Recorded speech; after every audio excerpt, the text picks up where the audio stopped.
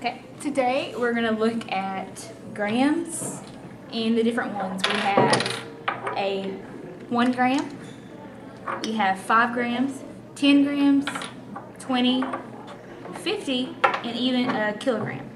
So first off, we're going to see the difference in the types of grams.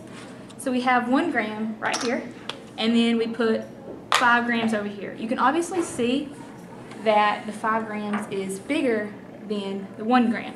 But let's say we put a 10 gram over with the 1 gram.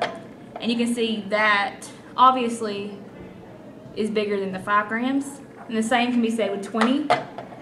But what if we put a 50 over with the 10 and the 1? And then you can see that 61 grams is bigger than 25. But then I have a kilogram.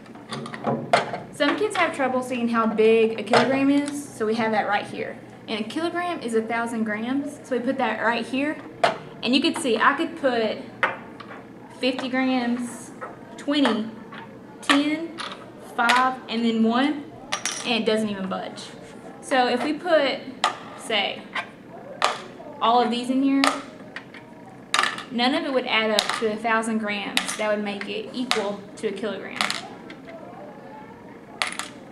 One thing you could do to teach in your classroom with grams is have the children like feel it and then try to find something in the classroom that has similar weight. Like for one gram, you would probably find like a paper clip.